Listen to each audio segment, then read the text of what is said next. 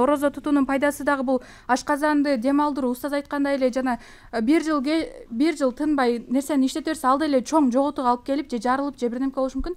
Ошол сыяктуу эле ден соолукта дагы мындай аябай көп зыян тартып калышыбыз мүмкүн да. Ошондуктан орозодо дагы бул ден соолукка ашказанга аябай пайдалуу экен жана ошондой эле биздин э, улуу доктурларыбыз врачтарыбыз айтып кеткендей эле бул жүрөк кан тамыр ооруларына дагы аябай алдын алат экен жана ошолорго пайдаларды алып келет экен.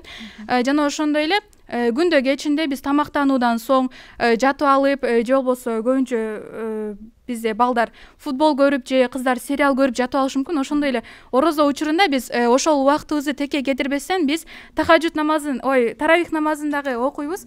Ошол себептен аябай көп пайдалары бар э, бул дүйнөдө дагы жашообузду негизи иретке келтиргенге бизге ошол бир ай бизге шанс